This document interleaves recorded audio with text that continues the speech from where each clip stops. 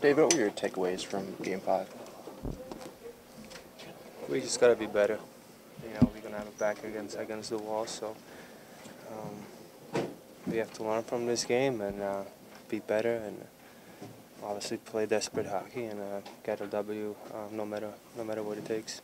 You, how frustrating was tonight for you guys? Yeah, that is. What do you, what do you think? I mean, it's game five, right, at home, so there you go.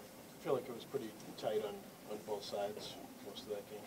Yeah, um, zero zero going in the third. Um, obviously, we were feeling pretty good.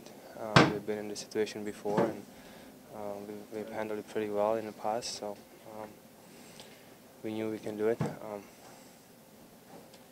but just didn't go our way. Like I said, we have to be better next game. Do you feel the sense of urgency was missing to some extent throughout the course of the, of the night? I think we have to be better next game. That's it. David, how much of you guys as a group have been resilient?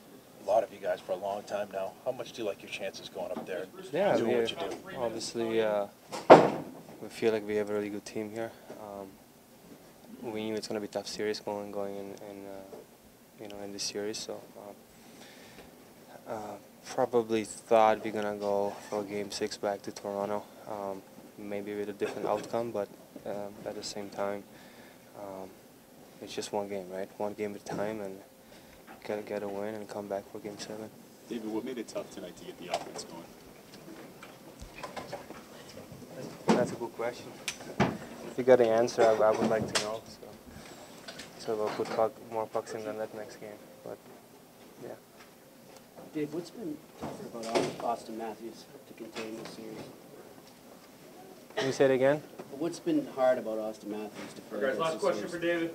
He's a good player. Um, you got to take away his speed, his space, and obviously be in his face. Uh, he's a good player. He's gonna make he's gonna make plays. So you got to play him tight. Don't give them much much uh, room in the neutral zone. Because once he gets his speed, uh, you know his his hands are even faster than his speed is. So.